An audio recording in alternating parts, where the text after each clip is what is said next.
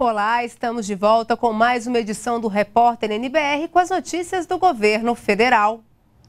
O presidente Michel Temer participou em Tiananmen, na China, da reunião do BRICS, grupo que reúne Brasil, Rússia, Índia, China e África do Sul. No encontro, o presidente Michel Temer anunciou que o Brasil está trabalhando para a abertura aqui no país de um escritório do novo Banco de Desenvolvimento, chamado Banco do BRICS. O grupo é responsável por quase 25% da economia mundial. O novo Banco de Desenvolvimento consolida-se como instituição de reconhecida capacidade a serviço da expansão da infraestrutura a serviço do crescimento. Mais de uma dezena de projetos foram aprovados com sucesso. O banco concluiu seu processo de instalação do Centro Regional na África. Adotamos uma estratégia geral para, para os próximos cinco anos que tem por eixo central a promoção da sustentabilidade. E os líderes do BRICS condenaram os testes nucleares da Coreia do Norte. Mas, segundo o ministro das Relações Exteriores do Brasil, Aloysio Nunes, qualquer decisão terá que passar pelo Conselho de Segurança das Nações Unidas.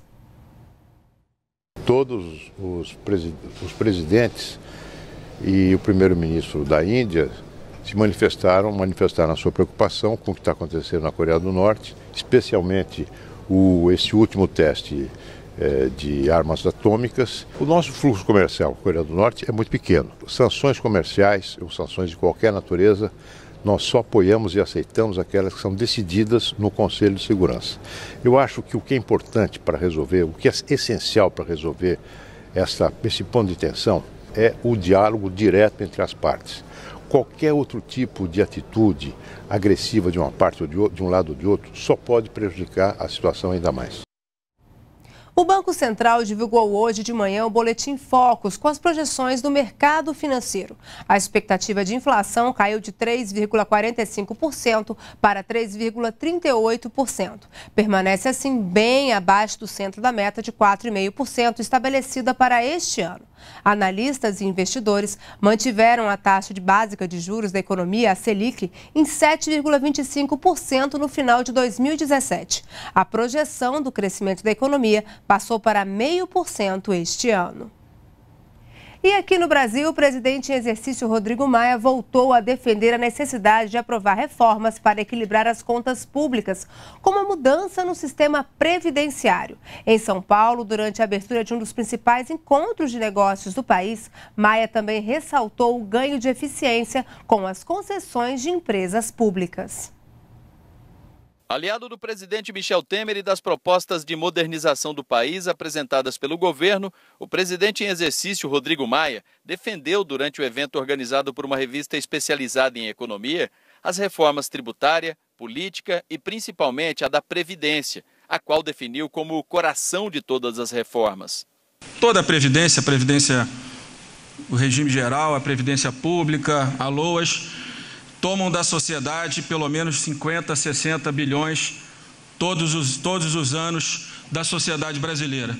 E o nosso papel é convencer cada um dos parlamentares numa matéria que ainda é polêmica, de que para que o Brasil possa ser um Brasil igual, para que um Brasil, o Brasil possa ser um país que atenda a toda a sociedade, não a poucos privilegiados, não adianta nada sem uma discussão séria da reforma da Previdência e dos gastos obrigatórios do governo federal como um todo. Além da continuidade das reformas, Rodrigo Maia afirmou ser importante reduzir o tamanho do Estado, em uma defesa direta ao programa de concessões à iniciativa privada apresentado recentemente pelo governo federal. Nós sabemos que nas mãos do setor privado as empresas são mais eficientes.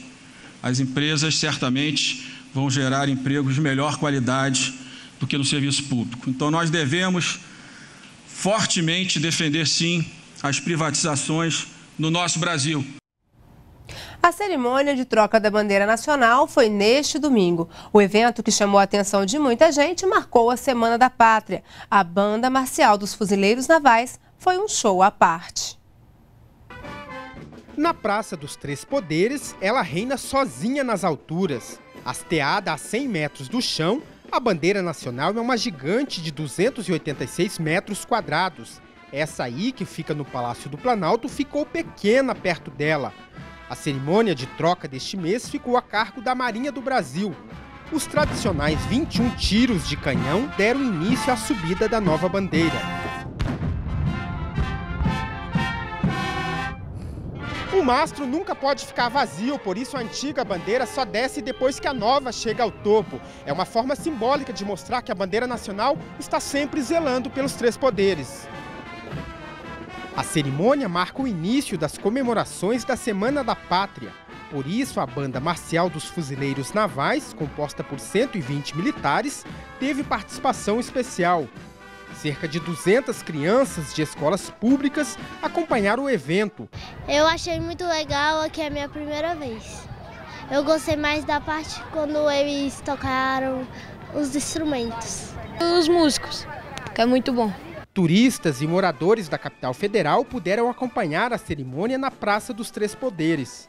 É um clima bom, né? A sociedade toda valorizando o momento cívico, né? É uma cerimônia muito bonita um exemplo de, de referência à bandeira nacional que nós temos que divulgar isso aqui no país. A substituição da bandeira é feita sempre no primeiro domingo de cada mês de forma alternada por Marinha, Aeronáutica, Exército e Polícia Militar ou Corpo de Bombeiro do Distrito Federal.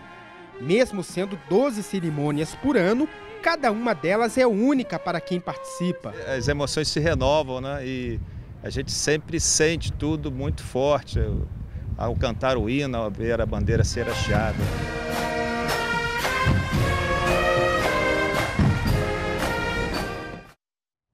Essa edição termina aqui. Você pode acompanhar a nossa programação pela internet no site da NBR ou em nosso canal no YouTube.